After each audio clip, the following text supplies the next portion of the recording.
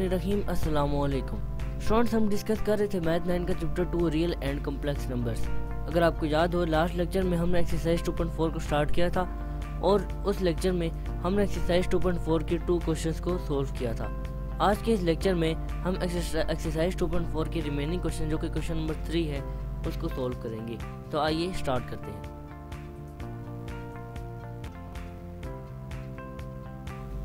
जी students हम start करने जा, जा रहे हैं question number three students question number three में हमें सिंप्लीफिकेशन करने को कहा गया है और इसका हमें फ़र्स्ट पार्ट गिवन है.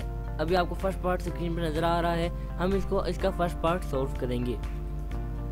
स्टूडेंट्स अगर आपको याद हो तो लास्ट लेक्चर में भी मैंने आपको बहुत मरतबा ये बात बताई कि जब भी हम मैथ मैथ में सिंप्लीफिकेशन करते हैं तो अगर हमारे पास ग्रेटर वैल्यूज़ गिवन हो जैसे कि यहाँ पर आपको 27, 60, 180 नज़र आ रहे हैं ये बड़ी वैल्यूज़ हैं। अगर हमारे पास बड़ी वैल्यूज़ गिवन हो तो हम कोशिश करते हैं कि उनका एलसीएम ले लें और उनका एलसीएम लेकर उनको इनकी जगह रिप्लेस कर दें। स्टूडेंट्स यहाँ पर भी हम कुछ इस तरह ही करेंगे। अब टू की पावर वन बाई थ्री ये एज रहेगा क्योंकि इसके फैक्टर्स और बन नहीं सकते। स्टूडेंट ट्वेंटी सेवन के फैक्टर्स आपने बनाने हैं। ज़रा सोचिए। मेरा पहला आपसे सवाल। कि ट्वेंटी सेवन के अगर आप एलसीएम लें तो ट्वेंटी सेवन के फैक्टर्स क्या बनते हैं? जी। स्टूडेंट्स ये बहुत कॉमन सा सवाल है। आपको मालूम होना चाहिए। जी स्टूडेंट्स अगर आप थ्री को थ्री टाइम्स मल्टीप्लाई करें तो हमारे पास ट्वेंटी सेवन आता है। थ्री थ्री ज़ा नाइन एंड नाइन थ्री ज़ा ट्वेंटी सेवन यानी आप यहाँ 27 की जगह 3 की पावर 3 यानी कि 3 का होल क्यूब लिख सकते हैं। अब स्टूडेंट 60 के फैक्टर्स हम बनाएँगे। 60 के फैक्टर्स बनाने के लिए देखिए। यहाँ पर हम 60 लिखेंगे और 60 को सबसे पहले हम सबसे स्मॉलेस्ट डिजिट से इसको डिवाइड करेंगे जो कि 2 है। अब टू थर्टी का सिक्सटी होता है। अगेन ये थर्टी टू पे डिवाइड हो जाता है। हम टू पे इसको डिवाइड करेंगे। और टू पे डिवाइड करने की सूरत में हमारे पास फिफ्टीन आंसर आएगा। अब फिफ्टीन टू पे डिवाइड नहीं होता, वो थ्री पे डिवाइड होता है तो इसलिए हम इसको थ्री पे डिवाइड करेंगे। और थ्री पे डिवाइड करने की सूरत में हमारे पास फाइव आएगा। और फाइव फाइव टाइम्स ही डिवाइड होता है फाइव वन ज़ा फाइव तो स्टूडेंट्स सिक्सटी के जो हमारे पास फैक्टर्स बने हैं, वो two two three and five है। स्टूडेंट्स टू दो मरतबा आ रहा है तो हम टू का स्क्वेयर लेंगे। टू का square multiply by three and then multiply by five इस तरह हमने सिक्सटी के फैक्टर्स भी बना लिए। स्टूडेंट्स अब हम 180 के फैक्टर्स बनाएँगे। 180 के फैक्टर्स बनाने के लिए देखिए। अगेन हम इसका एलसीएम लेंगे। 180 का फैक्टर्स यहाँ पर हम 180 लिखेंगे। 180 स्टूडेंट्स आप देख सकते हैं कि 182 पर कम्प्लीटली डिवाइड हो जाता है। तो हम इसको 2 पे डिवाइड करेंगे। 2 पे डिवाइड करने की सूरत में हमारे पास 90 आंसर आएगा। 90 अगेन 2 पे डिवाइड हो जाता है। हम इसको 2 पे डिवाइड करेंगे और 2 पे डिवाइड करने की सूरत में हमारे पास 45 आंसर आएगा। 45 अब टू पे डिवाइड नहीं होता, उसको हम सिंपली थ्री पे डिवाइड करेंगे। और थ्री पे डिवाइड करने की सूरत में हमारे पास 15 आंसर आता है। 15 अगेन थ्री पे डिवाइड हो जाता है और थ्री पे डिवाइड करने की सूरत में हमारे पास हमारे पास फाइव आंसर आता है। और फाइव फाइव टाइम्स डिवाइड होता है फाइव वन द फाइव तो स्टूडेंट्स 180 के फैक्टर्स जो हमारे पास आए हैं, वो टू टाइम्स टू है टू टाइम्स थ्री है और वन टाइम फाइव है। तो हम जो टू दो मरतबा है, हम उसको टू का स्केयर लिख लेंगे। मल्टीप्लाई बाई थ्री दो मरतबा हम उसको थ्री का स्क्वेयर लिख लेंगे और फाइव एज इट इज़ आ जाएगा। स्टूडेंट्स फोर का स्क्वेयर अब आप देखें तो टू का स्क्वेयर अगर फोर देखें तो टू का स्क्वेयर हमारे पास फोर होता है और नाइन आप देखें तो थ्री का स्क्वेयर हमारे पास नाइन होता है। तो स्टूडेंट्स ये है हमारा, हमारी प्लानिंग इस पार्ट को सोल्व करने के लिए। तो आइए अब इसके फैक्टर्स जो हमने मालूम किए हैं, उनको रिप्लेस कर देते हैं। ये हमारा पहला स्टेप स्टूडेंट्स जैसा कि मैंने आपको बताया, सेम वही हमने किया पहले स्टेप में। अब स्टूडेंट्स हम करेंगे क्या? हम यहाँ पर ये जो इनकी पावर्स हैं, इनको, इनके बाहर होल पावर से मल्टीप्लाई कर देंगे। और मल्टीप्लाई हम क्यों करेंगे, ये भी आपको मालूम हो जाएगा। स्टूडेंट्स अब नेक्स्ट स्टेप में हमने इनको मल्टीप्लाई किया। सारी पावर्स को हमने बाहर मल्टीप्लाई किया। Students two power one by three ये एज इट इज़ रहेगा। ये थ्री की power cube multiply by one by three जब हमने इन दोनों को मल्टीप्लाई किया तो ये थ्री और ये थ्री ये दोनों थ्री हमारे पास कैंसिल हो गए। अब यहाँ पर टू के स्क्वेयर था, जब हम टू के स्क्वेयर के उसकी whole power one by two से मल्टीप्लाई किया तो ये स्क्वेयर और ये वन वन बाई टू का ये टू कैंसिल हो गए।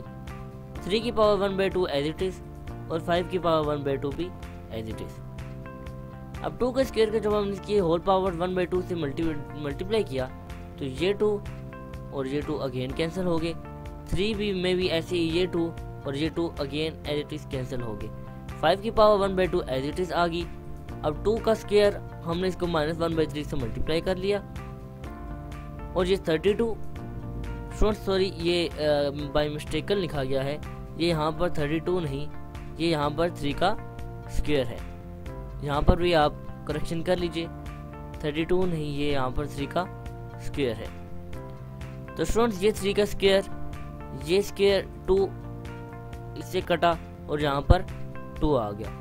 तो ये टू टू था, हमारे पास फोर होता है। तो स्टूडेंट्स हमारे पास ये सिंप्लीफिकेशन होगी। अब जो जो वैल्यूज़ हमारे पास बच गई हैं, हम हम उनको लिख लेते हैं। ये हमने जो जो वैल्यूज़ हमारे पास बच गई, हमने उनको लिख लिया। स्टूडेंट्स अब आप ज़रा सोचिए और बताइए कि यहाँ पर अब फर्दर सिंप्लीफिकेशन हमारे पास क्या हो रही है। जी। जी स्टूडेंट्स बिल्कुल। ये थ्री इस थ्री से कट हो जाएगा। ये टू इस टू से कट हो जाएगा। बिल्कुल इसी तरह ही ये फाइव जो हमारे पास है, ये पूरा इस फाइव से कट हो जाएगा। और थ्री की पावर ये बाई मिस्टेकन हो गया, मैंने आपको बताया भी। कि थ्री की पावर वन बाई टू आई कैसे स्टूडेंट थ्री की पावर टू थी? ये वन बाई टू से मल्टीप्लाई हुई। और मल्टीप्लाई होने की सूरत में? हमारे पास जो थ्री की पावर बच गई, वो वन बाई टू बच गई। अब वन बाई टू की थ्री की power one by two three की पावर वन बाई टू से कैंसिल हो जाएगी। और हमारे पास जो ऊपर खाली न्यूमिनेटर में जो हमारे पास बच गया, वो टू की पावर वन बाई थ्री और डिनोमिनेटर में हमारे पास जो बच गया, वो टू की power minus two by three तो इसको हम सेपरेट लिखते हैं और इसको फर्दर सोल्व करते हैं। कुछ इस तरीके से हमारे पास ये डाटा सारा बच गया। स्टूडेंट्स अब आप देख रहे हैं कि न्यूमिनेटर की बेस और डिनोमिनेटर की बेस हमारे पास सेम है। बेसिस सेम होने की सूरत में हमारे पास जो फ्रैक्शंस के बेसिस की जो पावर्स होती हैं, वो ऐड हो जाती हैं। तो अब टू की जो पावर ऊपर जाएगी, वो माइनस में है तो ऊपर जाने की सूरत में वो प्लस में हो जाएगी। प्लस में होने की सूरत में one by three plus two by three, two की power one by three, plus two by three हम कुछ इस तरीके से लिखेंगे। स्टूडेंट्स अब यहाँ पर हमने इनके एल्सियम लेकर इनको फर्दर सोल्व करना है। अब आप देख ले वन बाई थ्री और टू बाई थ्री में थ्री की बेसिस सेम है। तो हम one by two divided by three इसकी पावर में लिखेंगे कुछ इस तरीके से। अब one plus two is equal to three होता है और three divide by three is equal to one होता है। तो हमारे पास जो फर्दर आंसर सिंप्लीफाई होकर आया? हमारे पास टू आया। और स्टूडेंट्स इससे ज़्यादा हम इसको सिंप्लीफाई कर ही नहीं सकते तो यही हमारा फाइनल आंसर है। और यहाँ पर हमारे इस पार्ट का भी अख्ताम होता है। स्टूडेंट्स अब अब अब हम मैं मूव करूँगा पार्ट नंबर सेकंड की जाने जी स्टूडेंट्स सेकंड पार्ट अभी आपको स्क्रीन पर नज़र आ रहा है। स्टूडेंट्स ये दिखने में बहुत लेंथी और डिफ़िकल्ट लगता है, लेकिन ये इतना लेंथी है नहीं। स्टूडेंट्स अगेन अभी फ़र्स्ट पार्ट हमने जो सोल्व किया, उसमें हमने सीखा था, ये सीखा था कि जब भी हमारे पास ग्रेटर वैल्यूज़ आ जाती हैं, हम उनका एलसीएम लेते हैं और एलसीएम लेके हम उनके फैक्टर्स मालूम करते हैं। शॉर्ट्स अब टू हंड्रेड सिक्सटीन का भी हम यहाँ पर एलसीएम ले सकते हैं, लेकिन हम यहाँ पर इसका एलसीएम नहीं लेंगे। स्टूडेंट्स ये कुछ कुछ मैथमेटिकल रेशियाज होती हैं जो आपको याद होनी चाहिए। स्टूडेंट्स अगर आप कैलकुलेटर पे सिक्स की पावर थ्री लिखें तो आपको जो आंसर आएगा वो टू हंड्रेड एंड सिक्सटीन आएगा। अगर आप 216 का क्यूब रूट लें अगर कैलकुलेटर पे तो आपके पास सिक्स आंसर आएगा। तो हम 216 की जगह सिक्स की पावर थ्री लिखेंगे। अब हम सिक्स की पावर थ्री क्यों लिख रहे हैं? हम 216 का एलसीएम क्यों नहीं ले रहे? स्टूडेंट्स ये मैं आपको बाद में बताऊँगा। 25 का अगर आप फैक्टर्स में तो 5 का अगर स्केयर ले लिया जाए तो हमारे पास 25 आ जाता है। अब स्टूडेंट्स यहाँ पर पॉइंट ज़ीरो फोर है डिनोमिनेटर में। स्टूडेंट्स अगर मैं आपसे कहूँ फ़र्ज़ करें, अगर कोई डिजिट वन है। स्टूडेंट्स अगर मैं आपसे कहूँ कि वन के नीचे अगर मैं वन को डिवाइड करूँ वन से ही तो मेरे पास आंसर क्या आएगा? तो आप कहेंगे कि सर आंसर हमारे पास वन ही आएगा। करेक्ट आंसर है। अब अगर मैं आपसे कहूँ कि अगर टेन को मैं वन से डिवाइड करूँ तो हमारे पास आंसर क्या आएगा? तो अगेन आप यही कहेंगे कि मेरे, हमारे पास जो आंसर आएगा वो टेन ही आएगा।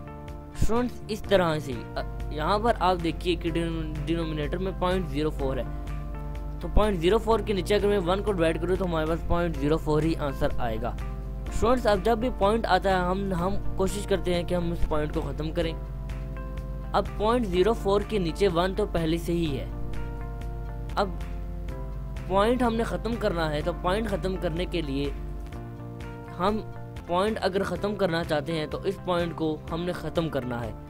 जब जी हाँ हम पॉइंट जब स्टूडेंट जब भी हम पॉइंट ख़त्म करते हैं तो हम देखते हैं कि इस पॉइंट के बाद हमारे पास कितने डिजिट्स बच गए हैं। इस पॉइंट के बाद अगर आप देखें तो हमारे पास दो डिजिट्स हैं, एक ज़ीरो और एक फोर जितने डिजिट्स बचते हैं उस पॉइंट के बाद, हम उतने ही ज़ीरो उसके डिनोमिनेटर में उससे डिवाइड कर देते हैं। तो वन पहले से ही है और पॉइंट के बाद दो डिजिट्स हैं तो हम दो ज़ीरो लेके हंड्रेड से यानी कि इसको डिवाइड करेंगे। और हमारे पास पहला स्टेप कुछ इस तरीके से बन जाएगा। स्टूडेंट्स अब आप यहाँ पर देख सकते हैं सिक्स का क्यूब फाइव का स्क्वायर और फोर डिवाइडेड बाई हंड्रेड और इसकी power minus one by two अब स्टूडेंट्स मैं आपको बताता हूँ कि यहाँ पर हमने सिक्स का क्यूब क्यों लिया, इसका एल्शियम क्यों नहीं लिया।